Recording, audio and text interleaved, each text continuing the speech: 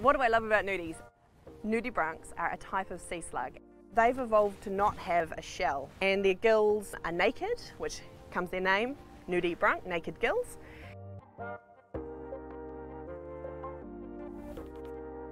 We've got 130 species around New Zealand.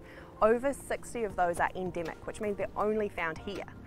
And we also have got sea hares, and we've got a whole bunch of different species. Nudibranch Hunting 101. We are at Takapuna today, um, which is an inner city snorkel site in Tāmaki Makaurau. We're right near an urban centre and you can go 20 metres off the beach and be able to see nudibranchs and a bunch of other cool critters.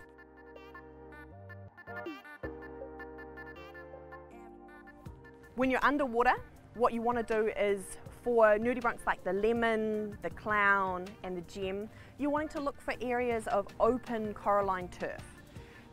And you're looking for splashes of colour and you're looking for little gills washing around in the current. Oh, nudies. I absolutely love their rhinophores, the two little um, noses on their, on their head. Uh, I love the fact that uh, they have a pretty wacky reproductive cycle.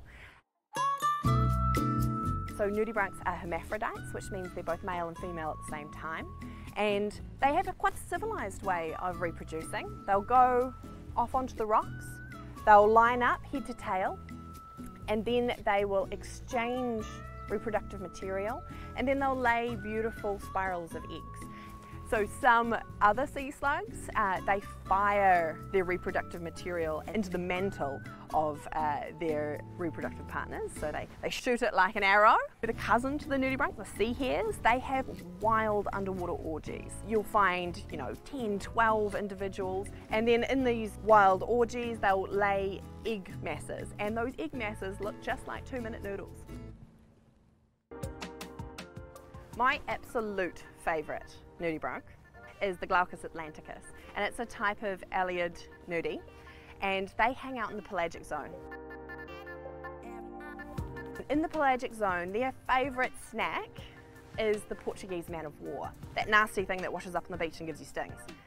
What they do is they eat the Portuguese man of war, they encapsulate the nematocysts, those firing cells, push them out onto the tips of their arms and then if you go and touch one, the firing cells will engage like you've been stung by a Portuguese man of war.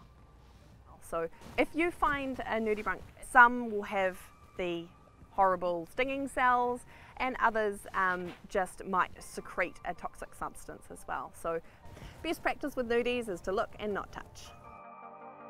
Through my job I'm exceptionally lucky because I get to help people experience their first glimpse underneath the surface. If you look closely at your local reef, you'd be surprised what you can find.